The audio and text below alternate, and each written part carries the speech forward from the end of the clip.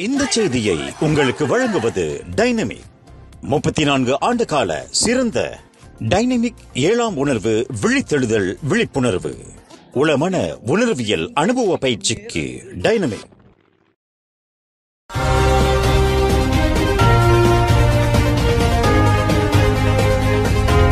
வணக்கம் திசைகளின் ஐந்து மணி செய்திகள். இலக்கிடப்பட்ட உதவித்தொகை அமலாக்கம் டீசல் கடத்தலை முறியடித்துள்ளது. கடந்த மாதம் பத்தாம் தேதி இலக்கிடப்பட்ட டீசல் உதவித்தொகை அமலாக்கப்பட்டது முதல் அந்த எரிபொருளின் அன்றாட சராசரி விற்பனை இருபத்தி மூன்று விழுக்காடு அதாவது இரண்டு கோடியே இருபத்தி இரண்டு லட்சம் லிட்டருக்கு குறைந்துள்ளது. ஜூன் தொடக்கத்தில் டீசலின் அன்றாட சராசரி விற்பனை இரண்டு கோடியே எண்பத்தாறு லட்சம் லிட்டராக இருந்தது.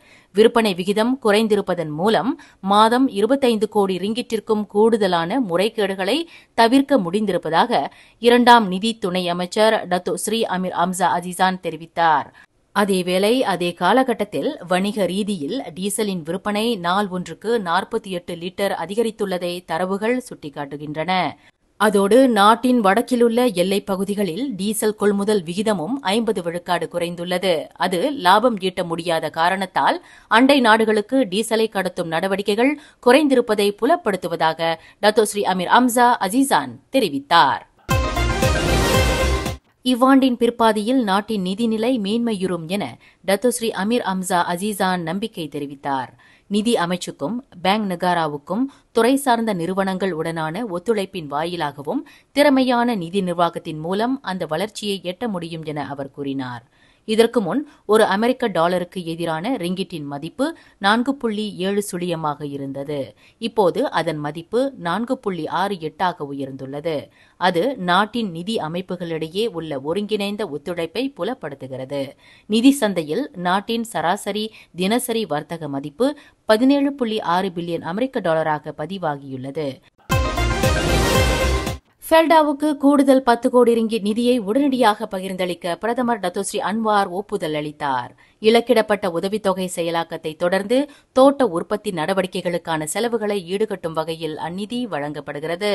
அத்துடன் தோட்ட தொழிலாளர்களின் வாழ்வாதாரம் பாதிப்படையாமல் இருப்பதையும் அது உறுதிப்படுத்தும் என நிதி அமைச்சருமான அவர் குறிப்பிட்டார். இதனிடையே முன்னூற்று பதினேழு ஃபெல்டா நிலங்களில் நடத்தப்படவுள்ள புரோக்ராம் சுஜாத்ரா கம்யூனிட்டி சுஜாதி மடானி வளப்புமிகு மடானி சமூக திட்டத்திற்கென மூன்று கோடியே பதினேழு லட்சம் ரிங்கிட்டை டத்தோஸ்ரீ அன்வார் அறிவித்தார். விவசாயம் கைவினை சுகாதாரம் சுற்றுலா முதலிய ஃபெல்டாவால் மக்களின் பொருளாதாரத்தை மேம்படுத்தும் நோக்கில் அந்த நிதி கொடுக்கப்படுகிறது. அமெரிக்க முன்னாள் அதிபர் டொனால்டு டிரம்ப் மீதான தாக்குதலுக்கு மலேசியா கடும் கண்டனம் தெரிவித்துள்ளது. அமெரிக்காவில் தற்போது அதிபர் தேர்தலுக்கான பிரச்சாரம் சூடுபிடித்துள்ளது. இந்நிலையில் இன்று காலை பென்சில்வேனியாவில் தேர்தல் பிரச்சாரத்தில் ஈடுபட்டிருந்தபோது ட்ரம்ப் டிரம்ப் மீது துப்பாக்கி சூடு தாக்குதல் நடத்தப்பட்டது. அதிர்ச்சியுற்ற டிரம்ப் கைகளை மேலே தூக்கியவாறும் காதுகளை மூடியவாறும் நடந்து வரும் காணொலி சமூக ஊடகங்களில் பரவலாகியுள்ளது. தாக்குதலின் போது அந்த முன்னாள் அதிபர் காயங்களுக்கு இலக்கானார். நாட்டின் முன்னாள் தலைவரை குறிவைத்து தாக்கும் நடவடிக்கையை ஒருபோதும் ஏற்றுக்கொள்ள இயலாது. பிரச்சினைகளுக்கு அது தீர்வல்ல என பிரதமர் டத்தோஸ்ரீ அன்வார் சாடினார். இவ்வேளையில் காசா மீது இஸ்ரேல் நேற்று தொடுத்த தாக்குதலையும் அவர் வன்மையாக கண்டித்தார். அதில் தொன்னூறு பாலஸ்தீனர்கள் கொல்லப்பட்டனர். நூற்றுக்கும் அதிகமானோர் படுகாயம் அடைந்தனர் கோலலம்பூர் புக்கிட் பின்தாங் சுற்றுப்பகுதியில் உள்ள ஐந்து உடம்புப்பிடி மையங்களின் மீது குடிநுழைவுத்துறையினர் மேற்கொண்ட அதிரடி சோதனையில் ஐம்பத்தாறு அந்நிய நாட்டவர்கள் கைது செய்யப்பட்டனர்.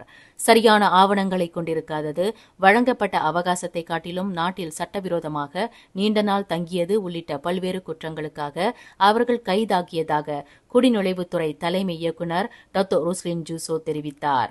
அவர்களுக்கு வீட்டை வாடகையும் அந்த வளாகங்களை கண்காணித்து வந்த இரு உள்நாட்டவர்களும் தடுத்து வைக்கப்பட்டதாக அவர் கூறினார். கைதான இருபது முதல் ஐம்பது வயதுக்கு உட்பட்ட அவர்கள் அனைவரும் வங்காளதேசம் மியான்மார் தாய்லாந்து சூடான் முதலிய நாடுகளைச் சேர்ந்தவர்களாவர். சம்பந்தப்பட்ட வளாகங்களில் உடம்பு பிடி சேவை மையம் என்ற போர்வையில் முறையற்ற நடவடிக்கைகள் நடப்பதாக பொதுமக்களிடம் இருந்து கிடைக்கப்பெற்ற புகாரை தொடர்ந்து அந்த அதிரடி சோதனை நடத்தப்பட்டது.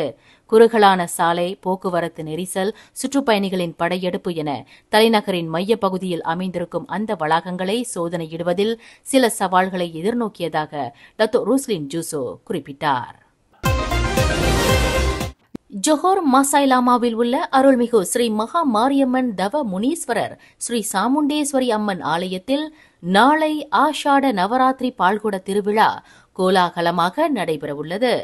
கடந்த நான்கு ஆண்டுகளாக வெகு விமரிசையாக நடத்தப்படும் அத்திருவிழாவில் தம்மையே கதி என நாடி வரும் பக்த பெருமக்களுக்கு பத்து அடி உயரத்தில் கம்பீரமாக வீற்றிருக்கும் வாராகி அம்மன் அருள் பாலித்து வருகிறார்.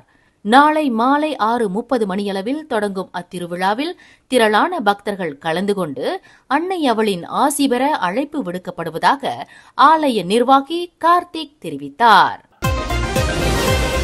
கடந்த புதன்கிழமை பொது நன்கொடை நிதியை மோசடி செய்தது தொடர்பில் தடுத்து வைக்கப்பட்ட ஐவரின் தடுப்பு காவலை மலேசிய ஊழல் தடுப்பு ஆணையம் நீட்டித்துள்ளது. அவர்களில் இருவர் சமூக ஊடக ஆளுமை தம்பதி. ஏனைய இருவர் நன்கொடையை திரட்டும் வலைத்தள நடத்துனர்கள் ஆவர். கடந்த வாரம் விசாரணைக்காக எஸ்பிஆர்எம்க்கு விளக்கமளிக்க வந்தபோது அவர்கள் அனைவரும் தடுத்து வைக்கப்பட்டனர்.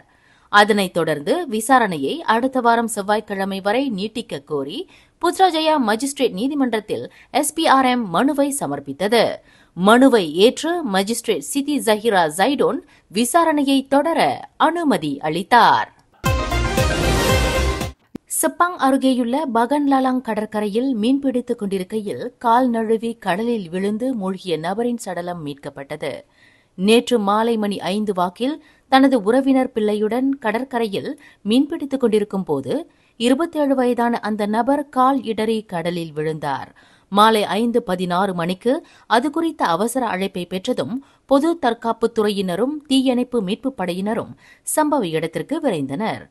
பின்னர் ஆறு மணியளவில் பகன்லலாங் முகத்வாரம் அருகே மிதந்த நிலையில் இருந்த நபரின் உடலை அப்பகுதி வழியாக சென்ற மீனவர்கள் பார்த்துள்ளனர். அவரது உடல் மீட்கப்பட்ட நிலையில் மாலை மணி ஆறு இருபதுக்கு அவர் உயிர் இழந்ததை மருத்துவ தரப்பு உறுதிப்படுத்தியது.